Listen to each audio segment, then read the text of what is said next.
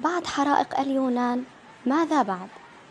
ضربت عواصف مطيرة عاتية اليونان اليوم مما أدت إلى فيضانات تسببت بمقتل عدة أشخاص وتضررت العديد من المنشآت والطرقات تأتي الفيضانات في اليونان بعد أسابيع من الجفاف وحرائق الغابات التي دمرت مساحات واسعة من الغابات والأراضي الزراعية وترجع الحكومة السبب وراء ذلك إلى تغير المناخ. وتواصلت أجهزة الطوارئ اليونانية اليوم في إنقاذ عشرات الأشخاص من قرى المنطقة الوسطى التي شهدت هطول أمطار غزيرة. هذه الأمطار تجاوزت في كمياتها ما تشهده عادة خلال عام بأكمله.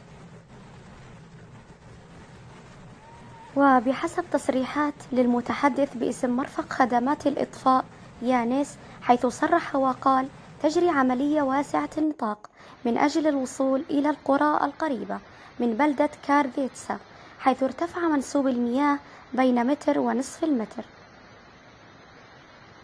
ومضى وهو يقول من الصعب جدا الوصول إليهم جدار بحسب خدمة الإطفاء. دمتم بخير.